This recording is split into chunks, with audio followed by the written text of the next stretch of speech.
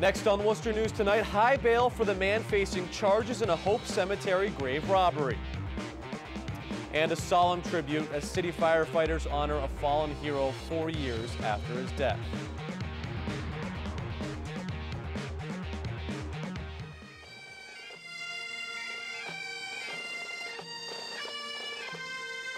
A somber remembrance tonight of a fallen hero as Worcester firefighters honor one of their own. Good evening. Thanks for joining us. I'm Tim McComb. An emotional tribute tonight to one of Worcester's bravest. Family, friends, and fellow firefighters honored the memory of firefighter John Davies. Firefighters gathered at a memorial at Franklin Street Fire Station this evening. Davies died in a fire on Arlington Street four years ago today. Davies and his partner went into the back of a burning building to search for a missing tenant. A portion of the building collapsed, killing Davies and injuring firefighter Brian Carroll. Davies was a veteran firefighter and part of the department's elite Rescue 1 unit. After three weeks of consideration and debate, Worcester's tax rates are set tonight by a narrow city council vote. Councilors voted 6 to 5 for tax line largely supported by residential advocates. It sets the residential rate at $20.61 and the commercial rate at $33.98. The council was divided on the vote as five councilors favored another tax line which was more favorable for business owners. It led to a more spirited debate tonight. He's a champion of cutting the budget until it actually involves the particular line item. Really is. Easier said than done. So at the end of the day, I, I would hope that we could consider that and also have reflections going forward that a fraction council serves no one. You know, we're going to go into a new council, and I hope nobody accuses anybody of having a fractured council because they disagree. Better we should have debate without a solution than solution without a debate. The new tax rates for fiscal year 2016 means the median residential bill will increase by a little more than $100. The average business tax bill will rise by $638. Well, a day after Republican presidential candidate Donald Trump suggested the United States not allow Muslims to enter the country, Worcester's Islamic community is speaking out, expressing their disappointment. He's a person of public concern and, uh, you know, it's very saddening to see that he's so openly making comments that are outright discriminatory and are really contrary to American values of uh, being accepting of foreigners and of giving people the rights to religious freedom. So we're very sad and disappointed to hear um, him coming out with these statements. Now, Trump's comments are sparking criticism from all sides of the political spectrum. Worcester Congressman James McGovern says in a statement, now more than ever, Americans must stand united. We must reject the dangerous ideas of those who seek to divide us. A policy that stigmatizes and isolates Americans of any faith makes us weaker, not stronger. New details tonight about the Connecticut man found with stolen remains from Worcester's Hope Cemetery. He faced charges in Worcester on Tuesday, and prosecutors outlined what he told them about the theft. Olivia Lemon has the story. Amador Medina appears in Worcester District Court Tuesday. The 32-year-old Connecticut man is charged with five counts of breaking into and taking bodies from this mausoleum in Hope Cemetery. Six royal crypts have been broken into. Five of those crypts had uh, skeletons removed from caskets. Investigators say Medina told them he is a Santeria priest and wanted the bones for religious reasons. Prosecutors say Medina did show police the remains of three adults and two children in his home. Uh, the defendant had stated that he had uh, purchased these remains from another individual, but he was aware that they did come from the mausoleum and did not have permission to have those remains. Police say the break-in was reported in October. The cemetery tells us they believe the family has no living relatives. City manager Edward Augustus says the mausoleum becomes the city's responsibility if there is no one left in the family to take care of it. We've taken measures to try to make sure that this never happens again in terms of putting additional cameras in at Hope Cemetery and um, kind of replaced all of the locks on all the mausoleums. Medina was held on $100,000 cash bail and is due back in court on January 5th. Olivia Lemon, Worcester News Tonight. Medina's defense attorney argued for lower bail. He says Medina was supposed to start a new job at Walmart in Connecticut this week. An investigation is underway in Worcester after a woman was hit by a vehicle.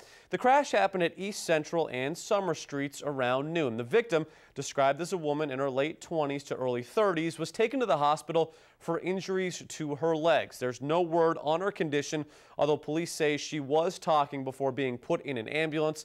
The driver of the car that struck her did stop. The cause of a fire on Gate Street in Worcester is under investigation tonight. Now, no one was injured in the one alarm fire, but it displaced 11 people as well as some pets. The electricity had to be cut off to the home. The Red Cross was on scene working to make sure everyone had shelter for the night. Firefighters tell us the cause does not appear to be suspicious. The family of a Worcester woman stabbed to death last week is remembering her in better times. Cherise Hill's mother says mental illness led to her downfall. Family is still trying to make sure Hill gets a proper burial. And our Patricia Nicholas has more. But them to treat my child the way that they did, you know, to slay her the way that they did in the middle of the street and left her for dead is unthinkable. Priscilla Walker is the mother of Cherise Hill, the 31 year old woman and mother of three who was stabbed to death on Murray Ave last week. Today, her family is remembering the woman they say was the perfect child. Like she's an overachiever. I really didn't get to see her that much because she spent so much time in activities. She was always in activities. She was always in stomp. She was always doing talent shows. She was always in something, like she volunteering. She was always getting in something, and all I wanted to do was tag along. You know, I'm gonna go. Let me go. Hill received good grades and graduated from Doherty High School. But after being accepted to the Berklee School of Music, her family says they saw a change in her. She changed overnight, you know? I think one of the things that I remember is like maybe she said like a swear word, and that wasn't like her to even say a little swear word. I didn't understand it. Like, it took me a long time to understand it. I still don't understand it. Um, she just wasn't the same. She was just a different person. She, um, you know, she would say she would hear voices, and, um, and I'm like, Cherise, this isn't you. Are you sure? You know? Her family says it was a downward spiral. Hill was diagnosed with schizophrenia and paranoia. Her family says they did try to get her help. You know, sometimes I feel like I could have, like I, I could have did something better. I should have did something better, but I'm not gonna beat myself up with a bat because I know I've done everything. It's like we lost her twice. The first time to the mental illness, and now to this. Patricia Nicholas, Worcester News Tonight. Hill's family has a GoFundMe page. They're trying to raise money for her funeral. A four-alarm fire in Sturbridge destroys a landscaping business overnight. The fire consumed a storage building and firefighters from more than a dozen communities were called in to help. The fire started around 9.30 on Monday evening at this business off River Road. Sturbridge Fire Chief David Zinther says the storage building is a total loss and what was inside made it somewhat dangerous for fire crews. We had some explosions. Uh, he had propane in the building. He had acetylene torches in the building. And that's why we had to take a defensive type of an approach. I had to bring this to four alarms primarily because of uh, challenges of water supply. Our closest water is about three quarter miles up the road. And we had to truck it down uh, one vehicle at a time. There were no reports of any injuries. Firefighters were able to contain the flames and protect neighboring homes. The federal government finds Wyman Gordon in North Grafton citing workplace safety violations. OSHA is finding the aerospace parts manufacturer more than $145,000 for three repeat and 10 serious violations of workplace safety standards. OSHA inspectors found Wyman Gordon employees were exposed to mechanical and electrical hazards. Wyman Gordon has 15 days to comply or contest the findings. The Paxton Board of Selectmen has suspended the license of the Sweet Pea Animal Shelter. Sweet Pea lost a portion of their shelter and more than 50 animals in a fire last month. The cause of the fire is still undetermined. Selectmen say they want to review regulations for all kennels in the town and questions have come up about the conditions for animals at the Sweet Pea shelter. An employee tells us they're waiting to hear what the town's guidelines are, but she says the suspension will have a negative impact on their operation. It's just been a frenzy, and you know we're trying to deal with the fire, never mind the bad publicity. And, you know, it's just, we're at a standstill, unfortunately. And it's a tragedy on top of a tragedy, you know. Unfortunately, people, there are bad people in the world that just have to thrive on other people's tragedies. The Sweet Pea shelter is closed, but employees say they are still accepting donations.